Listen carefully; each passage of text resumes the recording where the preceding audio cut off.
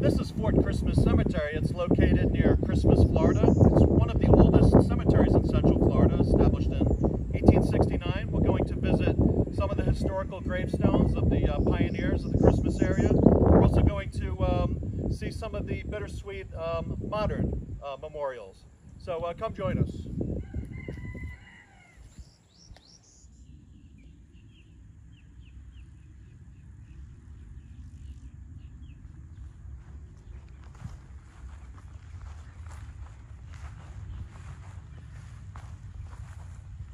Before us here is the Gold Star Mothers Memorial, as well as beneath that,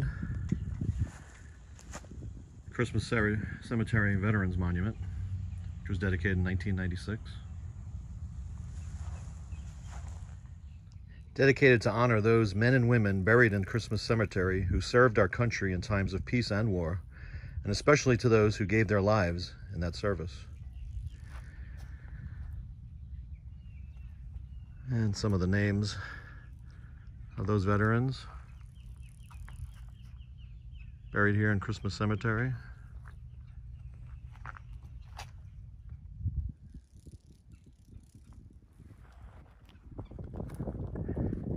And a beautiful live oak shading the old section of the cemetery here at Christmas.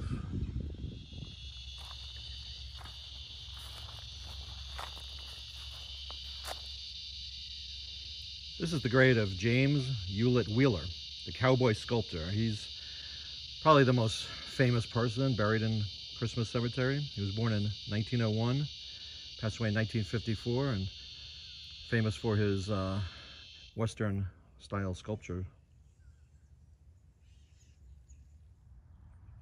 And this is uh, Osteen family plot. And these are one of the pioneer families of this part of Florida.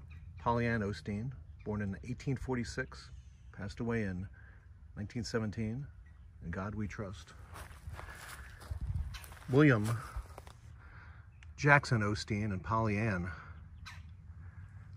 William born in 1847, passed away in 1925, and Polly Ann born in 1846, passed away in 1917.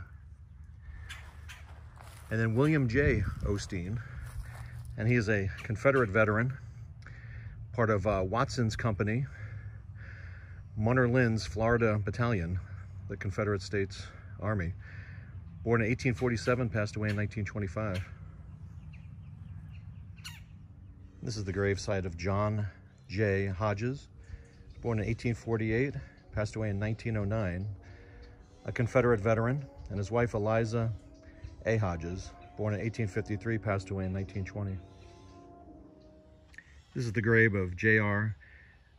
Um, A. Tucker, born in 1823, passed away in 1904, Confederate veteran. This is the grave of Charles Mike Wheeler, and he served as a private in Bullocks, Florida Volunteers, and also the, he was a private in the um, Company C Florida Infantry. He also served in the Seminole Wars. I would most likely say the Third Seminole War. He was born in 1831, passed away in 1896. And uh, Seminole War veterans are very rare to find in the cemeteries. This is the grave of W. W. Nettles, born 1835, passed away in 1911. He was a Confederate uh, veteran of the Civil War. He was the son of Willis Nettles, who was killed by Seminole Indian chief Osceola and his warriors at the edge of Payne's Prairie the day after Fort King was attacked and burned in Ocala.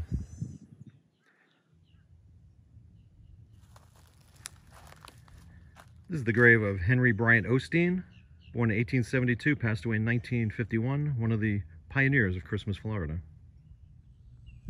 This is the uh, grave of Sybil May Hodges, born in February 10th, 1921, passed away October 27th, 1922. A year of age, suffer little children to come unto me.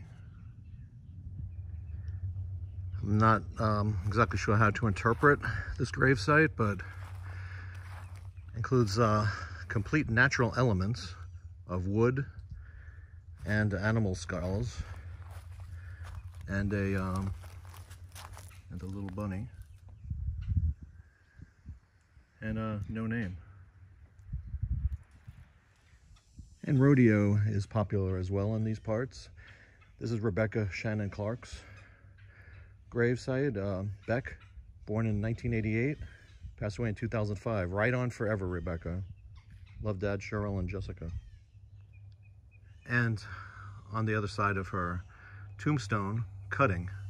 Two and a half minutes of fame, the announcer babbles on. Your horse looks around.